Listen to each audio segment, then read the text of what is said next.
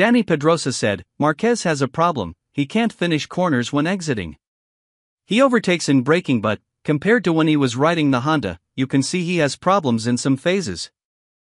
Marc Marquez said, The Ducati has a lot of grip at the end of the corner, whereas I was used to skidding before. He's going into his summer break in third place in the overall standings, with 166 points against Pecco Bagnaia's 222. Despite falls and ups and downs, Marc Marquez's first season wearing the Team Gresini colors is becoming to be interesting and probably above the expectations of those who thought he was already at the end of his rope. Coming off a glorious podium finish in the Sachsenring GP, along with his brother and teammate, Alex, the Spanish rider still has some details to take care of before he becomes one with his Desmosedici. And it's precisely those missing elements that Dani Pedrosa, now a commentator for DAZN, focused on. In the last races, I noticed that Marc was able to overtake more when braking, especially at the apex. But, in comparing this with his period in Honda, you can see that he can't close the line, as he'd like to in the final part of the curve, and this leads him to widen the trajectory, therefore, leaving an open space for those who follow, the Catalan rider analyzed. Faced with such an observation, the eight time winner agreed with his colleague and explained more the reason. At that stage, the wheel behind pushes, and you have a lot of grip, while I've always been used to having little, so I was skidding. When I try to adopt my style with the Ducati, I always ended up falling, or I ruined the new tires if I was going for a fast lap. So that's why now I'm very cautious on the end of changes in direction and overtaking now, and if I feel I have to widen the line a bit, I do it. Marc Marquez insists he wants to stay at Ducati beyond his new two year contract.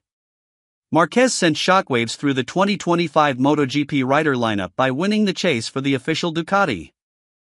He will partner Pecco Bagnaia while Ducati have seen Jorge Martin, Enea Bastianini, Marco Bezzecchi, and the Pramac team depart. Marquez, currently 31 years old, will be the second oldest rider on next year's grid. He was asked if his latest contract will be his last one in MotoGP, but he told Speedweek, You never know, but I don't wish for it. When I feel competitive, and competitive means being in the top 6 at every race. Very competitive means being in the top 3. To win a championship, you need all the tools, you need all the things in the right place. That's not the case for me at the moment. But I want to stay longer than these two years, even two years later. That desire would take Marquez into 2027 and beyond, the onset of the new MotoGP regulations. Those new rules might, in theory, allow a rival manufacturer to rise up and test Ducati's dominance. Marquez is still in the championship mix this season as a Gresini rider, although he hasn't yet won his first race on a Ducati. He is third in the championship, 56 points behind leader Bagnaia.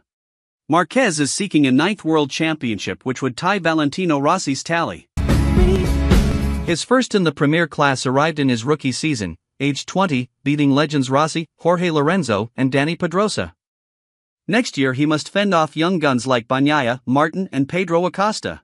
He was asked which version of himself had the harder task, and replied 32 year old Marc Marquez. When you arrive here as a 20 year old, you know MotoGP but you don't know anything about what's going on. You just rely on your natural instincts, you fight against big names and you have nothing to lose. Nowadays, young riders come in at a different pace, without injuries, and with a natural instinct. When I follow Acosta, Martin, or Bagnaia, who are 5 or even more than 10 years younger than me, they ride in a natural way. Sometimes they don't think much about the bike. That can sometimes be positive.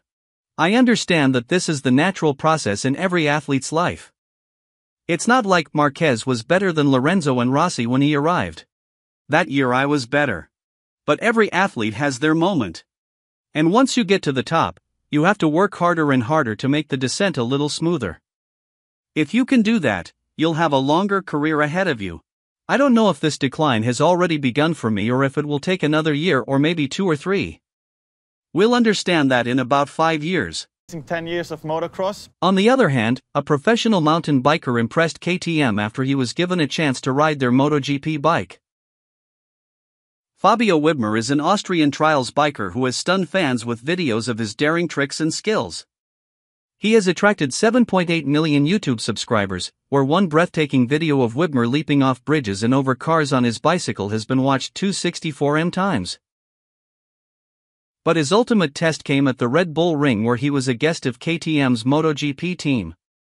Wibmer does have 10 years of motocross experience, but even he was not allowed near a MotoGP bike without testing smaller versions first. He was told to the ride a mini GP bike, where his stoppies and wheelies proved that he had more than an average person's ability. It, it. Wibmer also rode a KTM RC8 then a Moto2 bike to slowly ramp up the speed and power. The next day, Dani Pedrosa arrived to talk him through riding a 2023 KTM MotoGP bike. I feel like I could just go and race, the super confident Wibmer said. He later exclaimed, Dude, the power is insane. And in general, Pedrosa, the most successful ever MotoGP rider without a championship and now KTM's test rider, was on track alongside Wibmer riding a KTM Super Duke 1390R. After one lap together, Pedrosa shared a tip about the Red Bull Ring. I will show you the secret line, Pedrosa said. If you follow that line, you will get your best lap time. Wibmer lapped in 153 minutes on a MotoGP bike, around 25 seconds short of the lap record. I watched him closely, and it was perfect. I'm impressed, said Pedrosa. Wibmer added, I'm aware that very few people get the chance to ride a machine like this. The most fascinating aspect is the way you can lean into the corners and discover what angles are possible. Although I was still a long way off achieving the lean angles of a MotoGP Pro, it still felt like I was already at the limit in some places. Wibmer compared his day job to MotoGP. Of course, if you break it down, the sports are very different. But if you make a rough comparison, factors such as balance, bike control, handling, the general feel for two wheels plus handlebars all play a role.